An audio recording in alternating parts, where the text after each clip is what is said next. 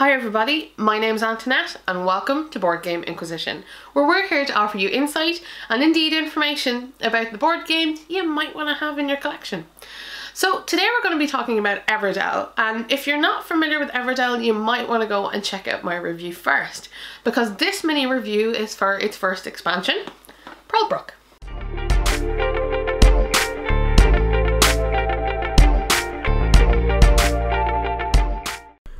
Everdell, the Pearlbrook expansion, has your critters exploring further beyond the woodlands to below the surface of the river, where a new civilization of waterfolk is waiting. I'm using the collector's edition, and it feels like it's brimming with extras to add to your game. In the box, you get new meadow cards, such as critters, buildings, and events.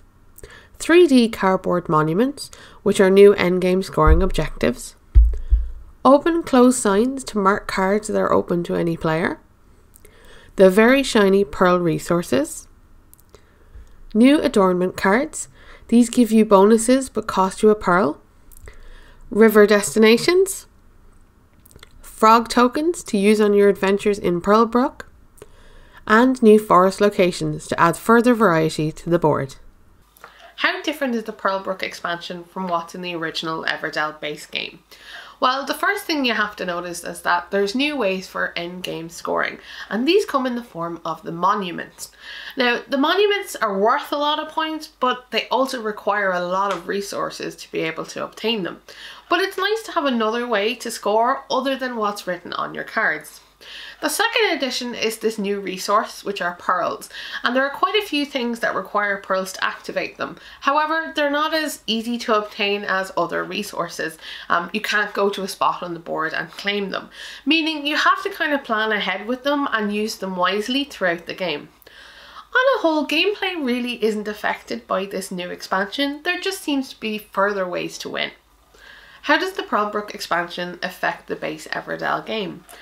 Well, truth be told, not particularly. It's quite an insular expansion um, and doesn't really mix well with the Everdell that we're kind of used to. Even these new Pearl resources refer only to all of the new cards. Um, now, apart from that, this does add a, random, a more random element to Everdell than we're used to. Um, and you see this in the case of there are locations to go in the river. Um, and to go there you need to pass certain prerequisites. And once you get there, you get to flip the card face up so you don't know what was there. And if you can complete whatever it says on it, you'll get bonuses and all sorts of good things. Now the issue here is that you don't know what you need before you go there. So it can be completely arbitrary whether you happen to have um, what the location requests of you or not. And this is compounded by the fact that you have one meeple that works in Pearlbrook, the frog, and so you can only go to one space a season while you're over there. Um, it's a little bit funny. Um, I think some people will appreciate this random element, others not so much. But for me, it was a kind of a, a different take um, on what we're used to in Everdell. Is this expansion worth having? Well, I do think the Pearlbrook expansion really kind of opens up the realm of Everdell a little bit and offers you kind of new ways to play. Now, the nice thing is this still keeps all the mechanisms we're familiar with and it adds new content without overloading you with new ideas. On a whole, I feel like the Pearlbrook expansion kind of dilutes the focus of Everdell itself, but if you're looking for more ways to win, then this one is definitely worth checking out. You've been watching Board Game Inquisition. For further updates about my latest videos, why not like or subscribe to the channel? Or if you've got any comments or queries you'd like to make about Everdell Pearlbrook, you can leave them in the comment box below. And until next time, I'll be here playing games, asking questions, and of course perusing my collection. Take care.